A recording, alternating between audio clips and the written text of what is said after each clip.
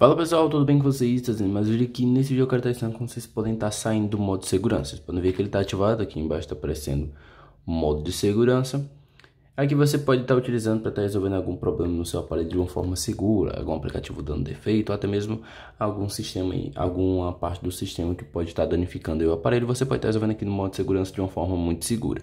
É, ele acaba aí meio que bloqueando o acesso a aplicativos que você baixa, por exemplo, se você tem vários aplicativos baixados da Play Store, você não vai ter acesso a eles, apenas os aplicativos padrão do sistema. No caso, esse Samsung Galaxy A3 Core que eu estou utilizando aqui, ele só tem mesmo aplicativos que vêm com ele, por isso todos eles estão com acesso liberado, mas se eu tivesse baixado outros aplicativos, não estaria funcionando o acesso, certo?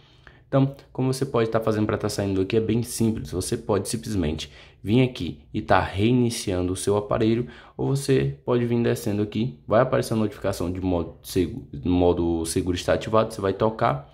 Tocando vai aparecer desativar o modo seguro, seu telefone será reiniciado e todos os seus aplicativos ficarão disponíveis novamente. Você clica em desativar, ele vai estar desligando e já vai estar ligando novamente com o modo segurança desativado. Ele leva um tempinho, um tempinho aí para estar tá ligando, então eu vou dar um cortezinho, assim que ele ligar eu volto com vocês.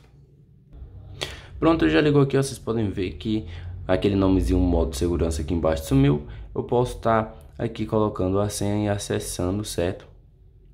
Se eu tivesse outros aplicativos baixados, eu já teria acesso a eles.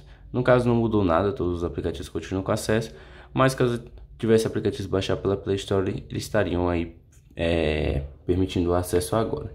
Mas dessa forma você pode sair do modo segurança. Quando você entrar, você pode estar apenas, como eu disse, vindo aqui, reiniciando seu aparelho, ou você vai na notificação que aparece, clica e vai estar desativando, certo?